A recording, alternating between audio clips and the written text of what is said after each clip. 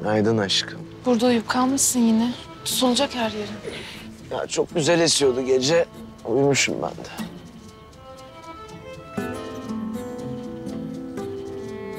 Omuzumu olabilirsin mesela.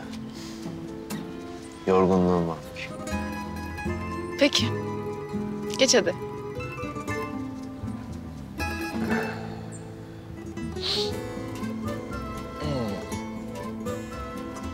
Ah!